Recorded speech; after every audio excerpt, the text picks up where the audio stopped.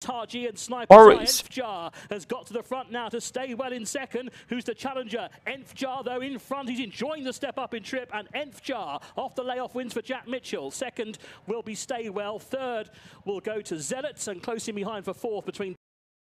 For Farhud Zodin, who party hard is number one, Oji Chu in first, number two, Oji 4 in second, number six, Oji 2 in nine in third, number four, Oji 5 in fourth, 3, 7, 8 in five. Thank you guys.